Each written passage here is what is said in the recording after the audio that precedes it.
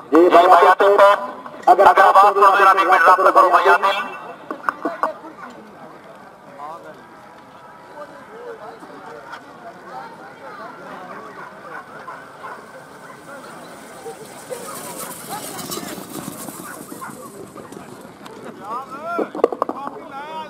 जी